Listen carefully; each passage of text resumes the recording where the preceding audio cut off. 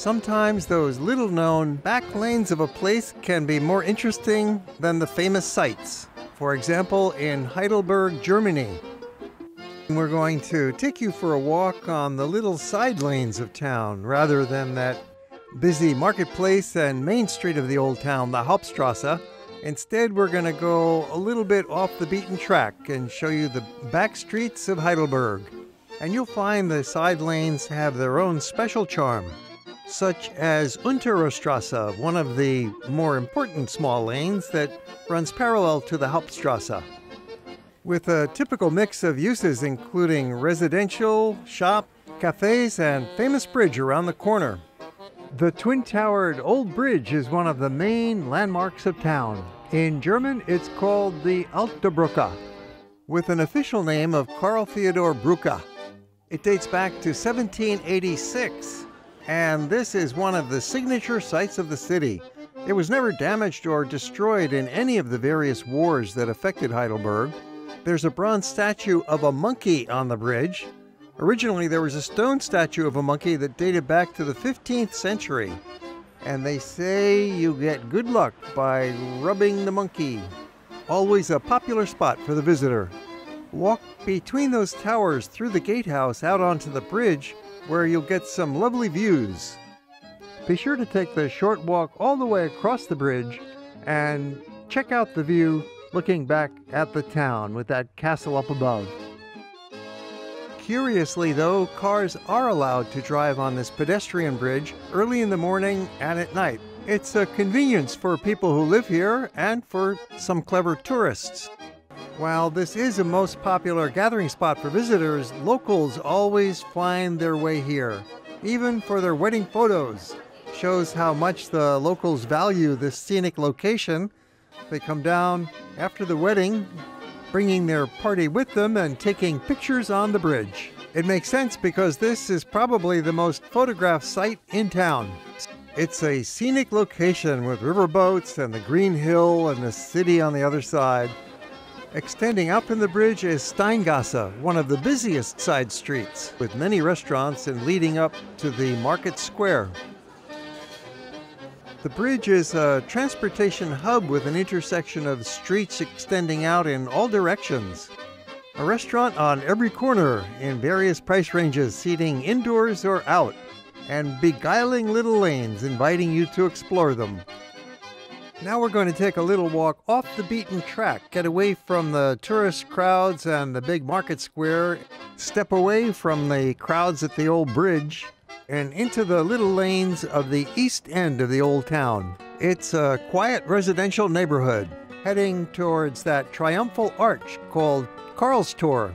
Near here, you can follow a footpath that goes up the hill that will lead you to the castle, or you could take the funicular and there's a anthropology museum with exhibits of the cultures of the world.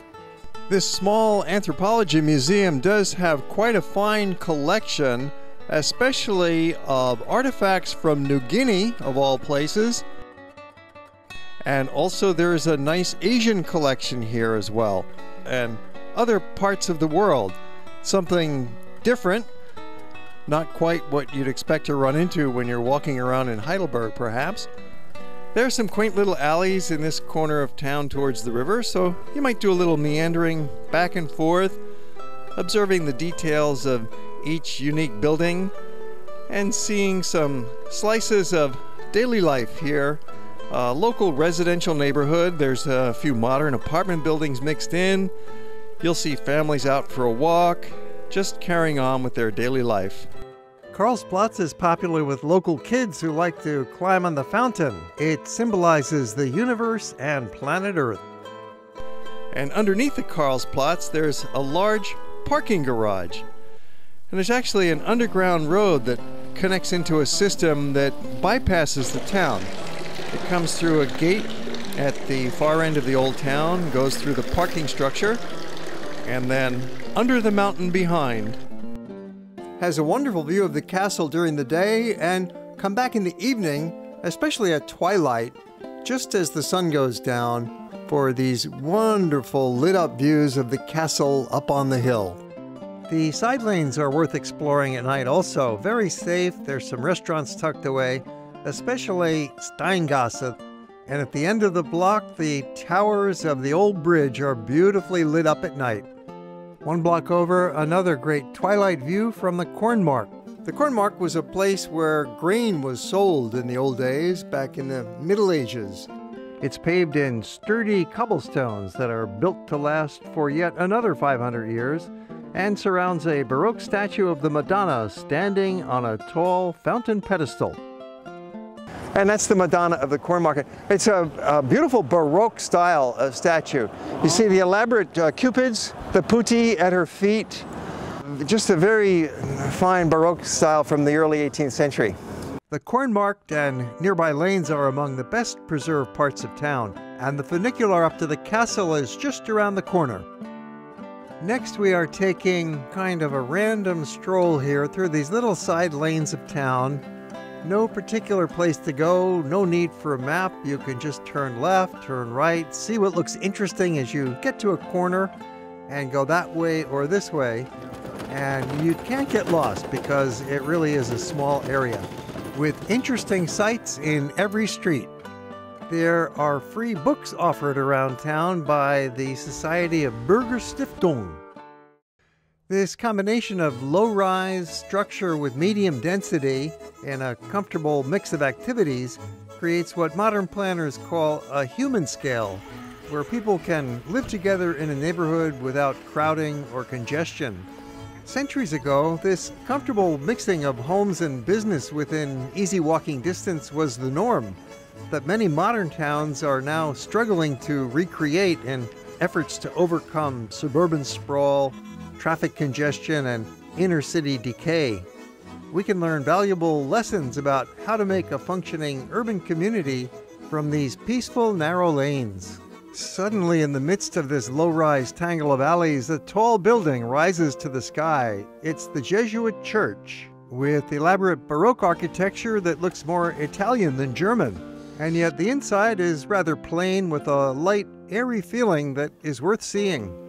It was one of the first major new buildings constructed after the wars of the late 17th century. A few blocks over, on the other side of the university campus, is the other major church of this part of town, Peterskirche, St. Peter's Church. It was built from 1490 in the Gothic style. You see the pointed arches with that typical red sandstone construction material of the city. Sometimes you'll get lucky and hear some music. There are some older tombs and gravestones inside the church. Peter's Peterskirche was built on the site of an earlier chapel, just outside what had been the old medieval walls of the town. There's a huge organ inside. Often students are practicing on it. Sunday services are accompanied by music from the organ and choral groups, and occasionally there's an evening concert. During the day, the church is generally open and there's no admission charge. You're free to come on in and have a look, and maybe you'll catch some music. For the past hundred years, the church has been associated with the Heidelberg University across the street and its theological faculty. We're now in the western half of the old town, and we can recap on the map for you where we've been and where we're heading. Starting out by the bridge we took a stroll to the east end and around by Karlsplatz, through some little alleys to these churches, and now we're heading down the street called Plöck, a route primarily for pedestrians and bicycles, and it passes one of the larger open plazas in the old town, Friedrich Ebertsplatz. And facing it, a fine three star hotel, Anlage, opened in 1892. Although many tourists don't know it's there, Plöck is one of the major streets of the old town, running parallel to Hauptstrasse, one block over. It's a busy road for bicycles with all of the young people and students and university crowd flocking around here. Bikes are not allowed to be ridden on the Hauptstrasse, although some do. As you find typically in Europe, the bicycle is a major means of transportation. After all, these towns are rather compact. You can get from one end to the other by going just a few miles, and therefore bicycles make a convenient means of transportation. You'll see lots of these bike racks with hundreds of bicycles locked up there. And there are restaurants and many shops along Plöck that appeal to that younger crowd. With so many people going by, you do get a pretty good retail atmosphere, including even a supermarket. After all, it's a residential neighborhood with many homes in these small alleys throughout the old town. You'll notice there are few, if any, tourists along this street. It's nice to get away from those major historic sites and the busy Hauptstrasse pedestrian lane and get into these more authentic local neighborhoods with a feeling for what life in the city is like. Given the youthful atmosphere of the street, you'll find some lower prices and more offbeat items available. Just try not to get run down by some of these bicycles going by. But these riders are very careful and experienced. A few shops and offices are located on the ground floor of these side alleys, with apartments upstairs, including many affordable units rented by students, judging from the number of bicycles outside. It's a place where young families can bring their kids out to a nearby playground and find shops offering important services like bicycle repair and gift shops, all within easy walking distance or just a pedal away from home. There's no doubt this is a bicycle friendly town. Watch out for little daredevils now we'll take a deeper dive into these little back lanes and learn something about the history of how this city came to be. Here we are just one block away from the main street and the main square, and yet it's already a very quiet atmosphere. It's mostly a pedestrian zone. Uh, the few cars allowed in here have special permits. They either live here or they work here. And now notice the buildings. Look around at all these buildings, and what you'll see is uh, fairly kind of a uniform appearance in terms of height and styles of building. Uh, the facades are all uh, similar. There's no two that are exactly alike. There's no two that are identical, but you'll see the similarity. Now, how could this happen? What have we got here? How did this city develop in such a way that it's so harmonious? The roots of this city are Gothic. They became a Gothic town. Middle Ages, 12th century, 14th century, the street patterns were established in the, as you see today, at that time in the Middle Ages. But something happened. It was in um, 1689. The French came and invaded Germany. Louis XIV's armies came in. And in 1689, they destroyed Heidelberg completely. They, they leveled the city flattened it. So what happened then, they rebuilt the city all in a similar style, in the Baroque style. When you get into the early 17th century, this is the era of the Baroque. And what you see today is from that time period. So we're looking at structures that are 300 years old and all built up in this wonderful, harmonious way, and then not destroyed since then. There was treaties and special deals that saved the town of Heidelberg. So too bad that there was a destruction of the old Gothic town, but at least it resulted in this marvelous Baroque town being built in its place. And so on the ground floor, you've got a lot of offices, businesses, lawyers, architects, and little cafes, and then upstairs is the residences. So this city is almost like a living museum. Streets in the old town do have a quiet atmosphere. As we've seen, they're narrow and often restricted to only pedestrians and bicycles, with only a few cars allowed in by special permit.